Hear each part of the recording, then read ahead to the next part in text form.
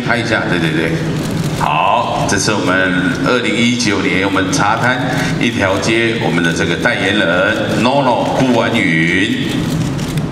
好，哎，你左边看一下。是哥，大家都说我叫 NONO 是占据了你的名字，好像沾你的光一样，所以听说你好像有点不开心。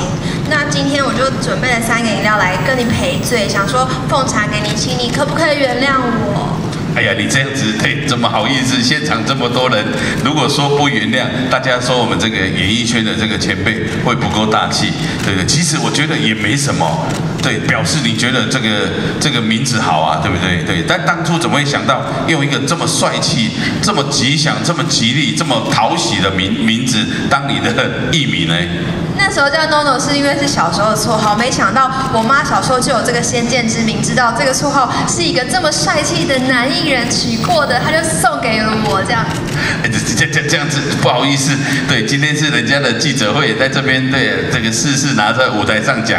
你是几岁开始叫 NONO 的？我从几岁哦？从零一岁啊。哦，一岁，所以大概叫了差不多二十几年，对不对？对，没错。不好意思哈。我教了四十五年，嘿，对，谢谢。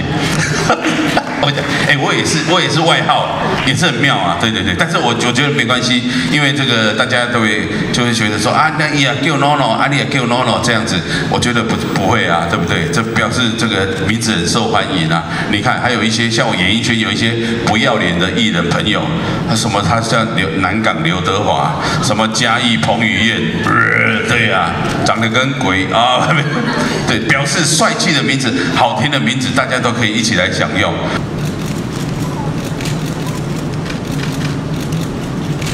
好，谢谢大家。